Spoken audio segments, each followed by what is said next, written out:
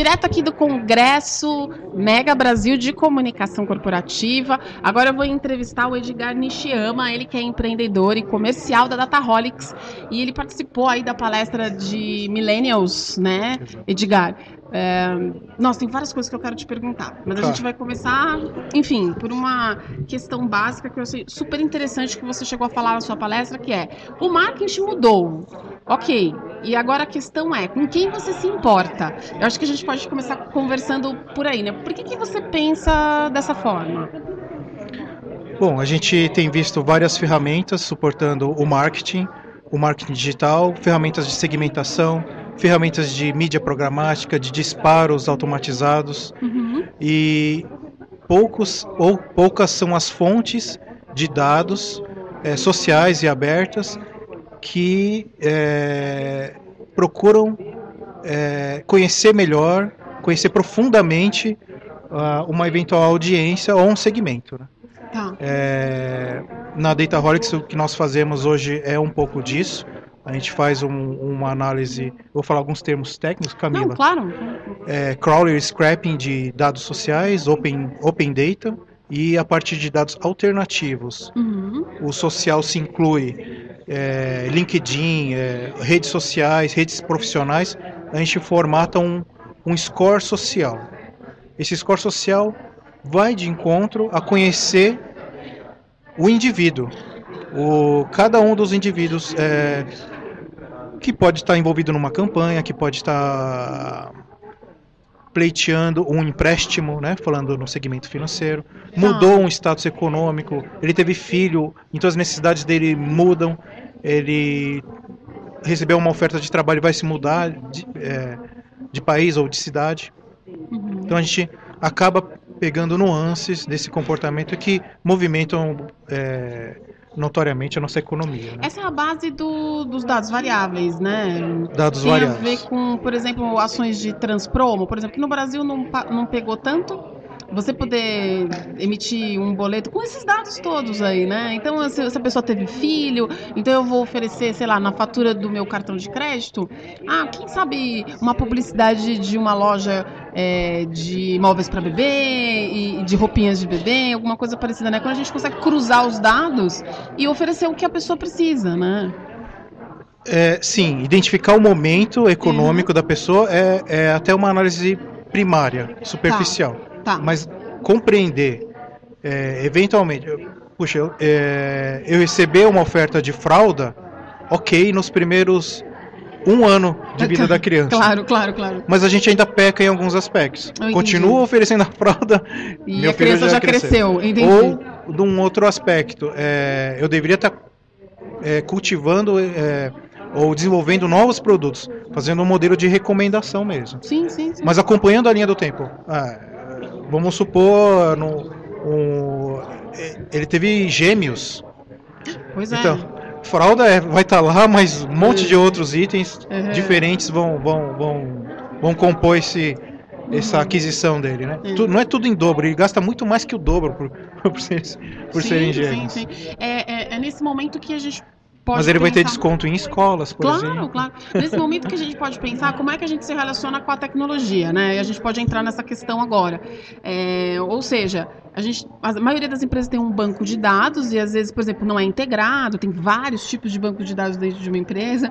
Ah, tem o comercial, tem o financeiro, ah, tem as questões de, de CRM e tudo mais. E aí hoje a gente vê, né? Eu, eu tinha um colega jornalista que falava assim, então hoje as empresas, você tem, você precisa pensar e raciocinar. Se você tem um banco de dados, você tem um bando de dados, Ah. entendeu? É verdade.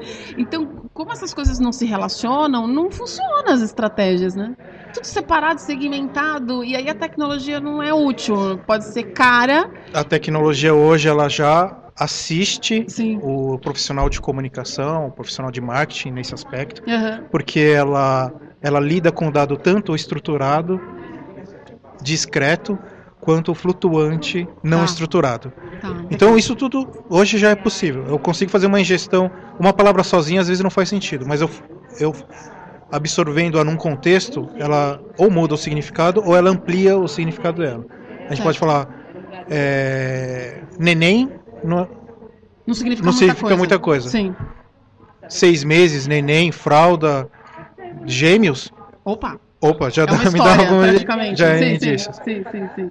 É, e, e, ou seja, e, e aí veio de diversas fontes e pode não estar estruturado. O que eu quero dizer com não estruturado? Pode ter vindo uma imagem e eu preciso interpretar essa imagem. Hoje, Exato. hoje a, a tecnologia permite isso. Uhum. Outra questão que ela permite, ela, ela pode agrupar dados de, de, de consumo. Né? Uhum. É, sistemas de recomendação estavam sendo tão assertivos há algum tempo atrás que ah, estavam assustando as pessoas. Ela Você falava, está "Olha, falando já de inteligência artificial? com inteligência artificial. É, é, se a gente for nessa linha, Relacionar-se, falar com uma máquina, por exemplo.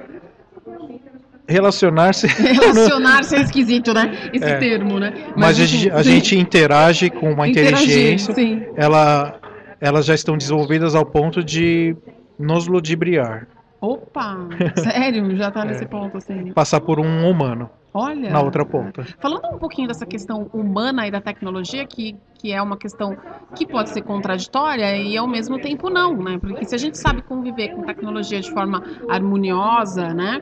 Como é que a gente po- pode trabalhar com isso de forma que o ser humano possa usufruir da tecnologia para crescer e, e- e fazer com que as, as empresas com as quais ele se, se relacione cresça e, e- e sem se tornar uma patologia, né?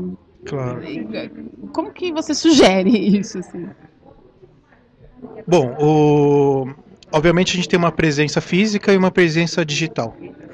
E, e o que a gente observa é que as pessoas tendem a, a viverem imersas no digital. Sim. E essa imersão no digital, eu diria que é, é negativa.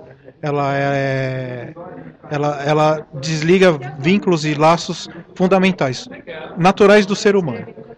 A gente é, é humano, a gente é feito de relações, mas essas relações são afetivas, são físicas, não são apenas digitais. Um like, um ok, uma carinha feliz, uma carinha triste, não conseguem transmitir ironia, não conseguem transmitir outros sentimentos. Não substitui um abraço. não- Nunca vai Sim, substituir. É um like ainda, é só um like. Sim, sim, sim. sim. E as patologias que a gente. é, alguns estudos, adolescentes no Japão, por exemplo, É. já, já passam até seis meses reclusos Nossa. dentro da, da- de, de suas moradias, porque a tecnologia facilitou todos outra, outros aspectos. Ele compra tudo pela internet, o, o refil do mercado ele recebe pela internet. é, o- e, sei lá, por né, questões culturais, com, com certeza, Também, com certeza, sem dúvida. eles ficam, ah, eu não preciso mais me relacionar. É, posso trabalhar em casa, posso Trabalho. falar com os amigos pelo WhatsApp, pela internet. E Exato. daqui a pouco essa pessoa não precisa nem sair de casa mais. Só que ela tem as consequências disso, né? A gente sabe, a gente é feito de química, né? Claro. É, são hormônios que a gente libera nas relações, nos abraços, no, no carinho, né? Exato, no olhar. exato. E isso não acontece digitalmente e nem imersivamente. Nem, pode colocar um óculos 3D que não vai, o abraço não vai acontecer. Não é a mesma coisa, né? Não é. Tecnologias que se desenvolvem com, esse, com a pegada humanizada, eu acho que, que vão ser positivas para nós daqui a, a algum tempo. O que não é humanizada, obviamente, não está pensando, pensa em automação, Uhum. algum trabalho mecânico que Sim. nós, nós fazíamos duramente. Ou seja, os dois lados têm que ser pesados. Né?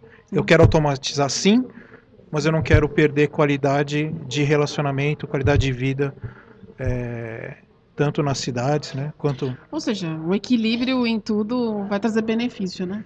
equilíbrio é a palavra. Não é verdade? Edgar, super obrigada Obrigado pela você, sua entrevista. Camila. Até a próxima, hein? Até. Até.